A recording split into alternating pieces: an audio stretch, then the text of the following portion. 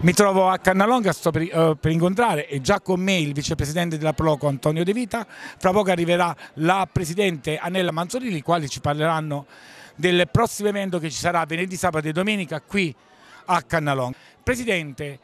eh, 2019 nuova edizione di Notte di Mezz'estate. Sì, proprio venerdì prossimo, 19, 20 e 21, ci ritroveremo sul Corso Europa per dare eh, inizio alla nuova edizione delle Notti di Mezz'estate, come al solito tradizione che contraddistingue sempre Cannalonga, per dare il via a questa nuova stagione che comunque sarà piena di impegni, insieme anche alla festa dell'aglio che si farà la prima settimana di, di agosto. Poi avremo modo di parlarne. A voi, sì, sì, sì, ne parleremo approfonditamente. Ci, ci fermiamo sulle notti di mezz'estate, 19, 20 e 21, musica popolare, tradizione, enogastronomia, insomma veniteci a trovare. Eh, sicuramente nelle tre serate ci saranno anche delle rappresentazioni, ossia di, delle mostre fotografiche il primo giorno a cura di Vincenzo Rociolo e anche di altri fotografi diciamo cannalonghesi e mm, la seconda sera invece il 20 ci sarà, mostra, no, ehm, ci sarà un, la presentazione di un libro ehm, e a cura di Vermiglio e Donna Luna.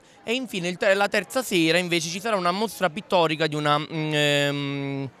di, una, di un'artista contemporanea cilentana. L'anno scorso ci eravamo specializzati nelle zeppoline di verdura che ritrovavamo nel mercato contadino che qui si fa il sabato, quest'anno ce ne andiamo più sul tradizionale, il nostro stand preparerà dei frisiddi cannalonghesi, pomodori cannalonghesi, vino e poi ci sono altri stand che preparano comunque delle tipicità cannalonghesi. Quest'anno diciamo che siamo anche molto concentrati sulla cultura, come ha detto pure il vicepresidente, mostre, libri, abbiamo dato anche un'altra tipologia di svolta alla manifestazione perché abbiamo bisogno del, del, vino, del cibo, ma abbiamo bisogno anche di portare avanti la cultura cilentana, gli artisti cilentani perché ce ne sono e ce ne sono anche tanti. Presidente, gli appuntamenti, diciamo adesso abbiamo quindi notte di mezz'estate, poi la festa dell'aglio,